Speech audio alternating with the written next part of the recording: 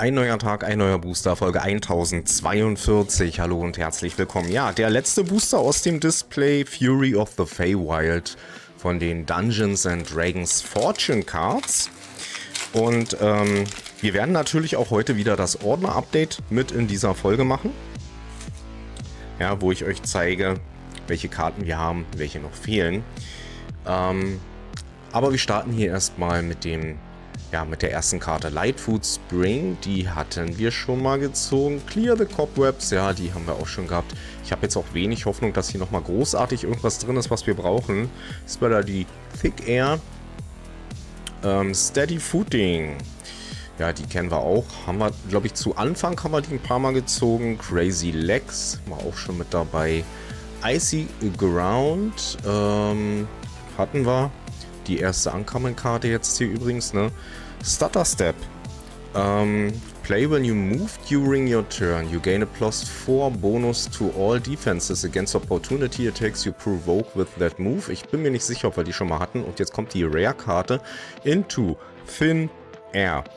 Play during your turn as a move action. You move up to two squares and are phasing during this move. Nummer 66 von 80 und dann haben wir hier nochmal How to Play. Die Codekarte. Ja, so.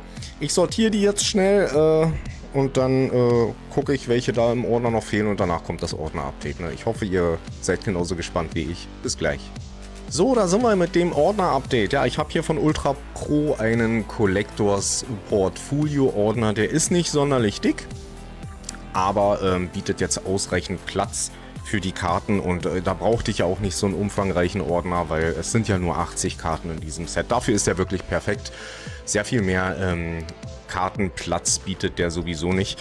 Und ähm, wir haben ja quergedruckte Karten, das heißt, ich würde das mit euch heute mal so machen, dass wir den, ja, äh, im Querformat durchblättern. So, ja, dann lass mal loslegen hier. Die erste Seite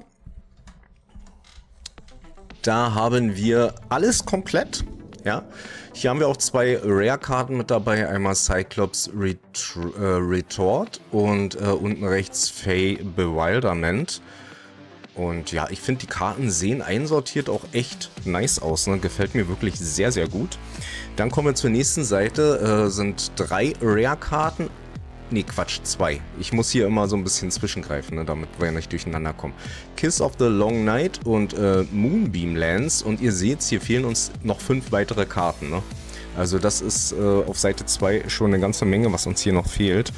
Dann äh, Seite 3 haben wir auch wieder drei Rare-Karten mit am Start. Und die Seite hier ist auch wieder komplett. Ne? Einmal Redcaps Feast, äh, Uncanny Knowledge und Capricious Dodge oben rechts dann.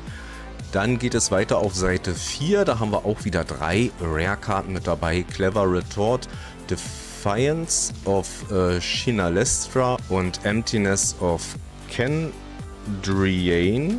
Und hier fehlen uns auch wieder zwei Karten. Einmal die Nummer 30 hier oben und äh, hier unten die Nummer 35. Ja, habe ich äh, bei der anderen Seite von vergessen zu erwähnen. Aber ähm, ja, ist jetzt auch nicht so schlimm. Auf der nächsten Seite fehlt uns eine Karte, das ist die Nummer 42 und hier haben wir auch wieder drei Rares. Imperious Demand, Mercandraw Curse und Miasma of the Feydark. Ich finde die Rare-Karten auch echt genial. Ne? Vom Artwork her gefallen die mir wirklich sehr, sehr gut.